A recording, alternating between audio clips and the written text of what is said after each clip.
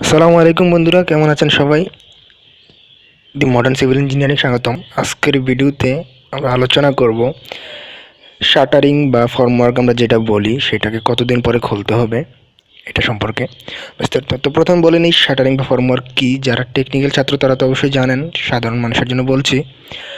Formwork হচ্ছে, আমরা কংক্রিটকে যেখানে ডালাই করি, আমরা ছাদ ডালাই বা কলম ডালাইয়ের পূর্বে, কাঠের বা স্টিলের যেই চারদিকের যেই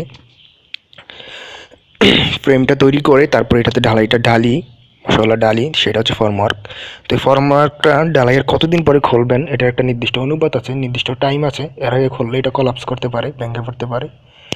তো সেই ফর্মওয়ার্কটা কতদিন পরে খুলবেন সেটা আমি এখন আলোচনা করব। তো চলুন শুরু করা যাক, যারা এখন সাবস্ক্রাইব করেননি তারা সাবস্ক্রাইব করে নিতে পারেন। তো for column wall vertical formworks column wall এগুলার যেগুলো ভার্টিক্যাল ভার্টিক্যাল স্ট্রাকচার যেটা সেটা আপনার ষোলো থেকে চব্বিশ ঘণ্টা পরে আপনি চাইলে খুলে ফেলতে পারেন। ঠিক আছে? ঢালাইয়ের চব্বিশ ঘণ্টা পরে খুলে নিতে পারেন। শুধু ভার্টিক্যালের জন্য যেটা আনুভূমিকভাবে আছে। ঠিক আছে?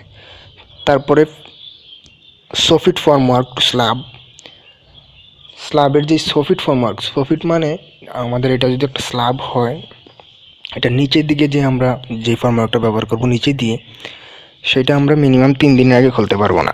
এবং তিন দিনের, তিন দিন পরে খোলার পরেও আমাদেরকে প্রপস যেগুলা, এগুলা আবার রিফিক্সড করে দিতে হবে। আমাদের যে ঠেকনাগুলো আছে, বাঁশের বা স্টিলের যেগুলো ব্যবহার করা হয়, খুঁটিগুলো, এগুলো আবার দিয়ে দিতে হবে তিন দিন পরে। তারপরে আমাদের সুফিট টু বিম প্রপস বিমগুলো বিমের যেই আমাদের ফর্মওয়ার্ক এগুলো আমরা সাত দিনের আগে খুলবো না। তারপর সাত দিন পরে খোলার পরে আবার খুঁটিগুলো দিয়ে দিতে হবে আরও কয়েকদিনের জন্য। রিফিক্স করে দিতে হবে।